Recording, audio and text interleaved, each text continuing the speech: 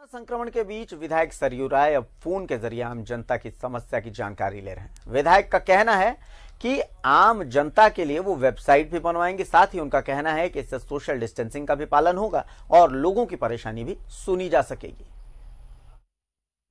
दोनों क्षेत्र को भी मिलाकर हम कोशिश करेंगे कि पूरे जमशेदपुर को एक यूनिट मान के हम लोग करें। उसके लिए एक वेबसाइट हम लोग तैयार कर रहे हैं। भोजन बांटने में जितने कार्यकर्ता शामिल थे, एक सौ लोग लोगों की सूची आई है। सौ लोग भी इसमें तैयार हो जाएँगे तो एक एक विभाग का जिम्मा ले लेंगे। और मैंने सभी से कहा है कि आपको पूरे दिन कोई पार्टी के काम के लिए व्याकुल भारत होकर घूमना नहीं है। आप हफ़्ते में एक दिन एक घंटा समय दीजिए समाज के काम के लिए। बाकी समय आप अपना काम